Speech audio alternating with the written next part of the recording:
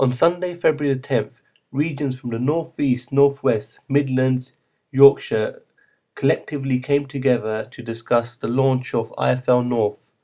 This was the first captains forum where the idea was to ensure that each captain was aware of the program, the schedule, and be able to give feedback as to how we can improve from last year.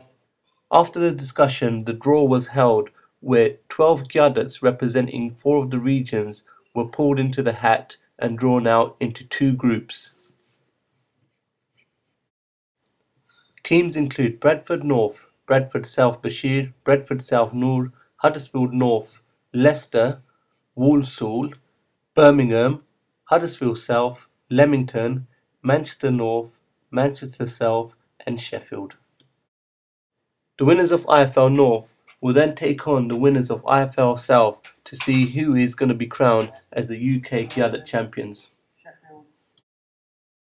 Midlands are coming into it. I mean, what does it mean for Midlands? Oh, it's, it's a great thing. I mean, um, really, we were trying to get involvement last year, but unfortunately, it didn't really pull off. But I think that the biggest thing about this is really drawing the Qiyada level excitement now. And uh, all of the boys are sort of prepped up already, and they can't really wait to start. But for, for the Midlands, it just gives us an opportunity to sort of uncover some new players that maybe we haven't seen in the past. So, you know, really to help us grow our national squad, uh, uh, sort of regional squad for preparation for the national tournaments as well. Um, reigning champions, first IFL North.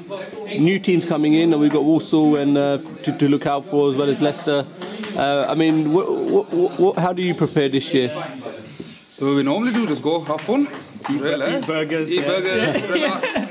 go out on the pitch and just relax and play our game because we know I mean, we've got a good team. In uh, regional Ishtamasa, where's Leicester sort of uh, reached? Well, Leicester, we always have a competition with both, so most of the time we always get to the final, but then the referees, the most of the time, huh? so, blame the ref. Yeah. so they have uh, referee issues in Midlands, maybe? There's referees issues all over the country, gosh, so you know.